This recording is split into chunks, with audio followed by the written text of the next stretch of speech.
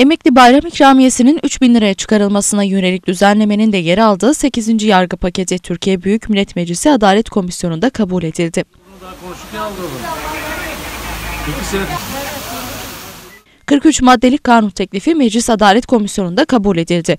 Düzenlemeye göre makul sürede yargılanma hakkının ihlali iddiasıyla yapılan itirazlar ve haksız tutuklama iddiaları için Anayasa Mahkemesi'nden önce Tazminat Komisyonu'na gidilecek. Kanun yoluna başvuru sürelerindeki karışıklık giderilecek. İtiraz, istinaf ve temyize başvurularda süre 2 hafta olacak.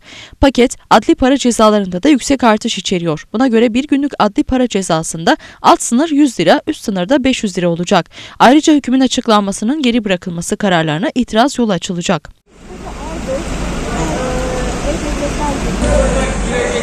Kanun teklifiyle TMSF'nin suça bulaşmış şirketlere kayyum olarak atanmasına yönelik düzenlemenin de süresi uzatılacak. Terör örgütüne yardım etme suçu da ayrı bir madde olarak Türk Ceza Kanunu'nda yer alacak.